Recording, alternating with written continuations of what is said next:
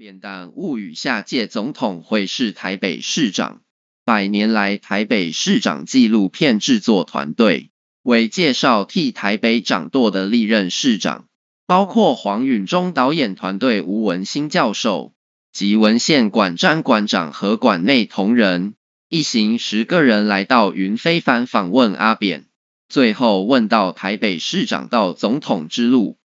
从老李阿扁到小马都是市长出身，但接下来就被小英打破了。从阿扁、小马哥到小英都是读法律，二零二四总统应该不会有法律人，会否有医师出身的就不得而知了。扁案政治迫害，平反阿扁总统。